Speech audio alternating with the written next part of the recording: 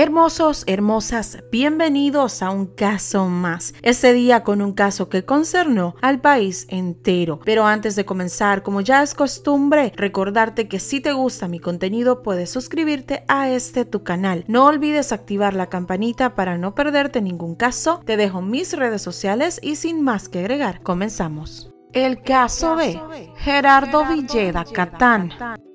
Gerardo Miguel Villeda Catán era un niño de nueve años al momento de los hechos. Cursaba el tercer grado en la escuela bilingüe Maquilisguat. Gerardito, como de cariño todos le llamaban, era un niño cariñoso, inteligente, amigable. Le encantaba jugar con sus amiguitos del colegio, un niño muy respetuoso, nacido bajo el seno del matrimonio conformado por Alicia Catán y Miguel Villeda. El padre de Gerardo era un empresario de la ciudad de San Salvador. A las 6.30 de la mañana del jueves 21 de junio de del año 2001, el señor Miguel Ángel Villeda se disponía a llevar a sus hijos a la escuela. Dos de sus tres hijos ya se encontraban a bordo del vehículo. Gerardo aún no subía al vehículo. Mientras le esperaban, el padre sacó el automotor para estacionarlo frente a la vivienda, ubicada en la calle Motocross, municipio de Mexicanos, departamento de San Salvador. Aún no había terminado de sacar su vehículo cuando de pronto alguien le coloca un arma en la cabeza. Al instante le dicen que se trata trataba de un asalto. En cuestión de segundos, le despojaron de sus llaves del vehículo, el reloj, el teléfono, una pulsera y también le exige que le diese un arma que él solía llevar consigo a todos lados. El hombre llevaba pasamontañas, pero la mirada y características físicas de aquel asaltante se quedaron grabadas en la mente de Miguel Ángel. Era un hombre alto, su pasamontañas con amplios agujeros en los ojos y en la boca dejaban ver unos ojos hundidos, un bigote ralo y una boca grande. Tras despojarle de sus pertenencias, el misterioso hombre se dio a la fuga. Tras la huida del hombre, Miguel Ángel ingresa en la casa a buscar un duplicado de las llaves del coche y a sacar otra arma. El padre nunca vio a Gerardo ingresar ni salir de casa durante el asalto, por lo que él creyó que el menor seguía dentro de la casa. Junto al mayor y al menor de sus hijos, subió al automóvil y recorrió el barrio de la colonia Miralvalle hasta que llamó a su hermano y le pidió que por favor fuera a la delegación policial e hiciera la denuncia del robo. Miguel Ángel pensó que era lo peor que pudo haberle ocurrido ese día, por lo que decidió que sus hijos no irían a clase ese día y regresó a casa. Él no se imaginaba que lo vivido sería tan solo la antesala de una verdadera pesadilla. Cuando regresó a casa le pidió a Juanita, la encargada de oficios domésticos, que cambiara a sus hijos, que ya no asistirían a la escuela. Ella, entre sollozos, le dijo dice que dos hombres se habían llevado a su hijo Gerardo mientras otro hombre le estaba asaltando. Miguel Ángel le replicó por qué no le había informado desde el momento en que él ingresó a la casa, a lo que la mujer respondió, pensé que iba tras ellos. La mujer había sido testigo de cómo dos hombres enmascarados se habían llevado al menor sin que ella pudiese hacer nada para evitarlo. Así comenzaba una angustiosa pesadilla para la familia Villeda Catán. No obstante, a las 4 de la madrugada de ese mismo jueves 21 de junio, alguien puso a la PNC en sobreaviso de un secuestro que se realizaría ese día. Oficialmente se trató de una llamada al sistema 911. Diversas fuentes hablaban que el informante de este secuestro pudo ser algún agente infiltrado en la banda. Como fuera, el informante no alcanzó a dar la identidad de la víctima ni el lugar en el que se perpetraría el secuestro, pero sí dijo dónde lo mantendrían en cautiverio y el vehículo que utilizaría la dirección era la avenida Central y calle Llanes de la colonia Las Delicias en Mexicanos. El vehículo, un Honda Civic blanco, placas 294-742. Se supone en un principio la policía habría sabido incluso que se trataba de un alumno de la escuela Maquilisguat. Datos vagos, nada en concreto y poco tiempo para actuar. La policía se desplazó a la dirección en Mexicanos a una unidad antisecuestros del GRP. También se desplazan dos vehículos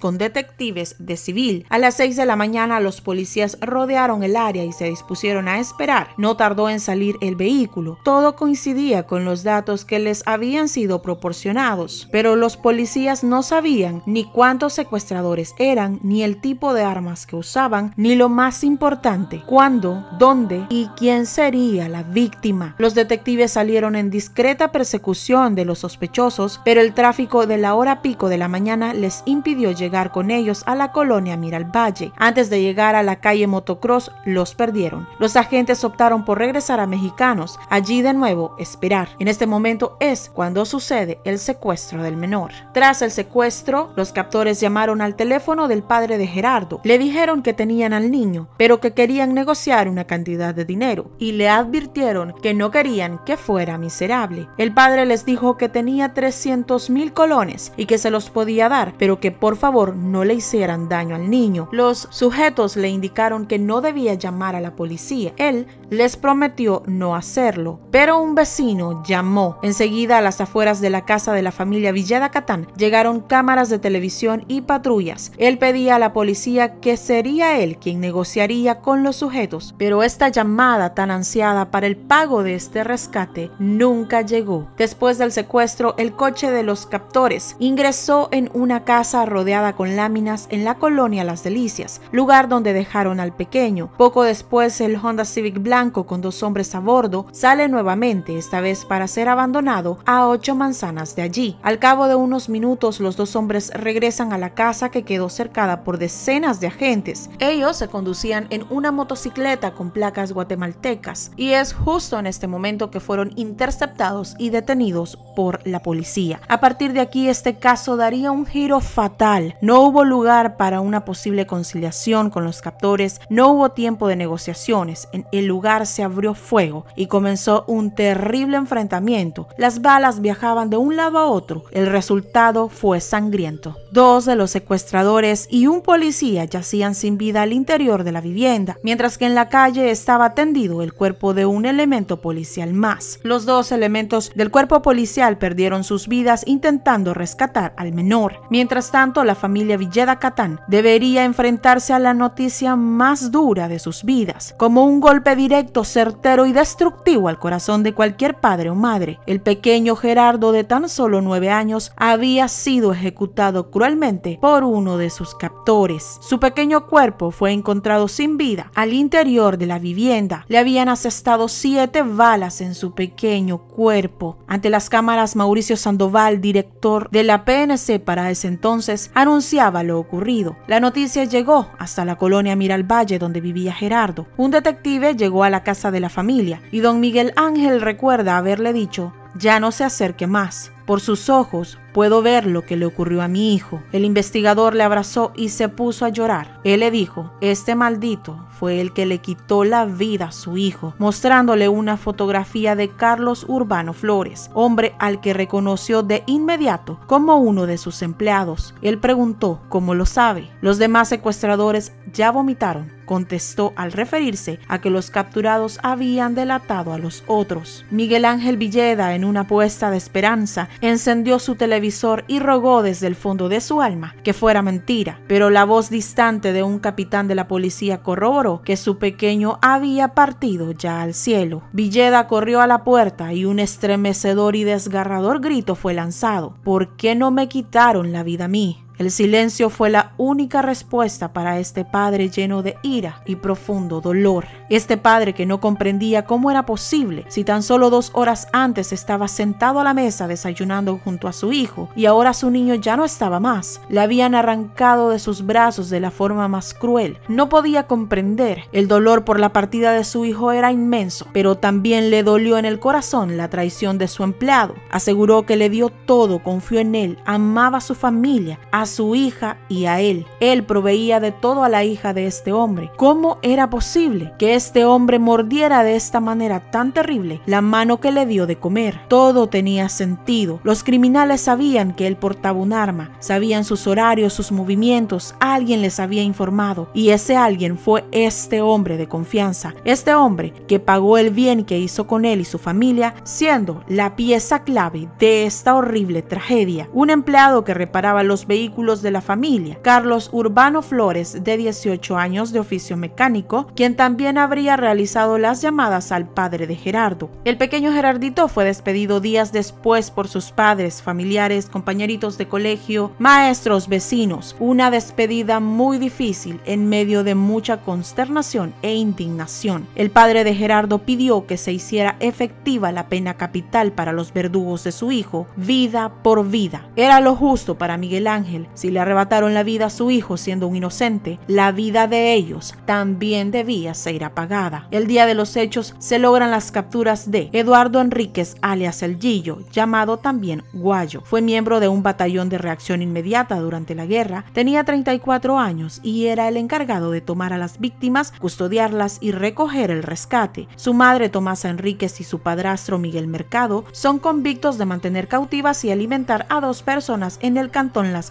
Granadillas con otra banda. También se captura a Mario Luis Ángel Antonio Cerón de 25 años de profesión docente y originario de Oratorio de Concepción Cuscatlán. Junto a ellos también es capturada Gloria Elsie Gómez de Muñoz de 52 años. Vivía como inquilina en la casa a la que fue llevado el niño. Presuntamente lo cuidaría en su cautiverio. Ella habría estado durante el fuego cruzado, también con un arma, y habría dado aviso que el menor estaba herido. Gloria se identifica como modista, pero se sabe que era empleada de un correo privado. Carlos Urbano Flores, de 18 años, de oficio mecánico y ex empleado del padre del niño. Este, acusado de ser el negociador del secuestro. La policía registró el número de teléfono de Urbano Flores con un total de siete llamadas con el teléfono negociador. Tenía además números de cédula y direcciones distintas. El guatemalteco José Benjamín Benítez García, de 44 años, fue capturado en flagrancia a las 8.10 de la mañana del jueves en la calle Montreal de Mexicanos en el vehículo Honda blanco en el que fue secuestrado Gerardo Villeda. El auto tenía placas que correspondían a otro vehículo. Benítez era comerciante oriundo de Jutiapa, Guatemala. Se captura también a Mario Ernesto Cruz Herrera de 37 años, originario también de Jutiapa. Este también iba en el mismo vehículo que Benítez. Se le vincula a otro caso de secuestro con el nombre de José Alberto Escobar Mejía, para lo cual usaba documentos salvadoreños y aseguraba ser agricultor. Noé Humberto Martínez Santos, vigilante de un correo privado y supuesto amante de Gloria Elsie Gómez de Muñoz. Tenía 34 años y es tío de Eduardo Enríquez alias El Gillo. Él fue detenido en el lugar donde trabajaba en la colonia Escalón. Silvestre Abigail Gómez fue detenido también dentro de la casa. Tenía 19 años y era originario de Verapaz, San Vicente. El primero de ellos, Eduardo Enríquez, pertenecía a la lista de los más buscados del país. Estaba ya siendo acusado por tres delitos más, específicamente secuestros. Este mismo hombre ahora estaba siendo acusado por ser el autor material, es decir, su mano habría cegado la vida del menor. Todas las personas que antes les mencioné prácticamente formaban una banda de secuestro.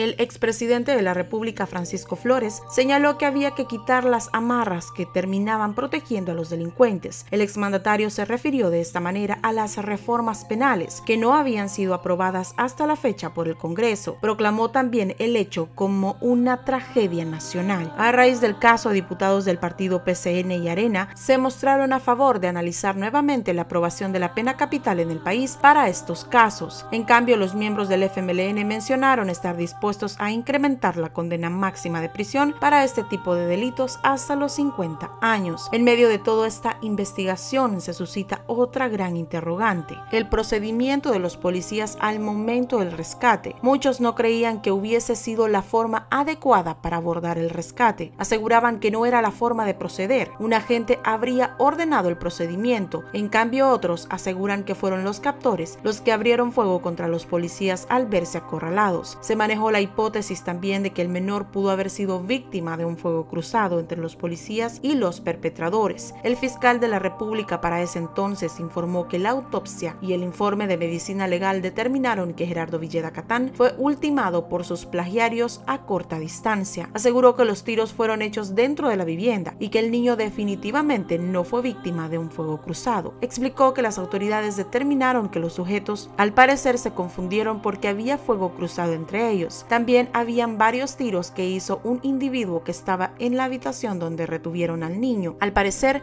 este sujeto comenzó a asestar tiros de forma descontrolada. Más tarde, el forense desautorizaría las declaraciones del fiscal general de la República, asegurando que el examen del cuerpo mostraba que las balas entraron y salieron del cuerpo y que su trayectoria era recta. En buena teoría forense, esto significa que los siete impactos fueron lanzados de lejos y no de cerca. División de la Policía Técnica Científica realizó el análisis de la trayectoria de los tiros efectuados. Manifestaron que era difícil la conclusión por la cantidad de armas utilizadas en el hecho. Detallaron que habían más de 300 casquillos y vainas involucradas en el tiroteo, por lo que el informe se llevaría varios días para que estuviese concluido. Pero estas no eran las únicas interrogantes que existían. Los hechos no estaban claros. A muchos no les pareció muy convincente la existencia de una llamada anónima alertando sobre el secuestro, ni que la policía no haya podido impedirlo. ¿Cómo es que llegan al lugar donde los secuestradores retienen al niño? Tampoco hay claridad sobre las condiciones en las cuales los agentes de un cuerpo muy especializado ingresaron en la vivienda, cuando oyeron gritos, cuando oyeron tiros, cuando escucharon ambas cosas o cuando los criminales les atacaron a ellos. El caso es que la acción policial puso en grave peligro la vida del pequeño rehén y el resultado fue desastroso. Cinco vidas se perdieron aquel día. ¿Por qué la policía no fue más cautelosa? Su director tenía una respuesta. No se trataba de un rescate. Si este hubiese sido el caso, hubieran tomado muchas más precauciones para salvar la vida del niño. Aquí se trataba de lo que ellos mismos llamaron un operativo de emergencia, dado que la policía habría sido atacada por los secuestradores. De nuevo surge otra pregunta. ¿Por qué si la policía que rodeó a los secuestradores sabía que tenían en su poder un rehén, no tomó distancia,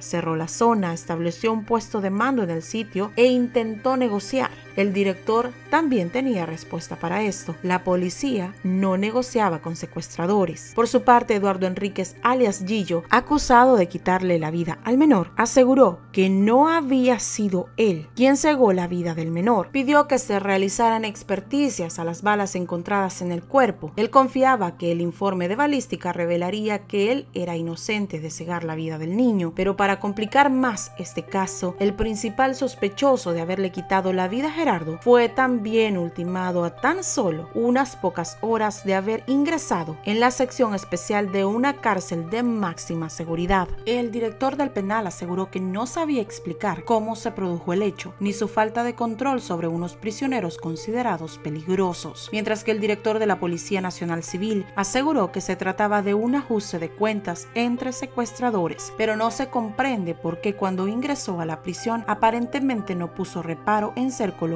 en el mismo sitio donde estaban sus supuestos enemigos. Por estos tiempos también llamó mucho la atención la calma con la que las autoridades se tomaron el hecho, siendo que se trataba de uno de los protagonistas principales del secuestro y además de quitar la vida al niño, aun y cuando fuere culpable habría sido muy fácil, pues nunca sería llevado a la justicia. Las investigaciones no podían proseguir como si nada hubiese pasado, tal como aseguró el director de la Policía Nacional Civil. A esto se suman las amenazas recibidas por la abogada encargada de la defensa de los acusados, las cuales fueron recibidas con la misma tranquilidad y no fueron investigadas. A esto agregar que el padre de Gerardo, el señor Miguel Ángel Villeda, también fue objeto de amenazas contra su vida. Estas llamadas fueron hechas a su trabajo y a su lugar de residencia, a lo que el padre de Gerardo dijo con voz firme, no le pongo importancia, si me quieren quitar la vida, que lo hagan. Hay un Dios que los va a juzgar y creo que un favor me harían, porque así me podría reunir con mi hijo Gerardo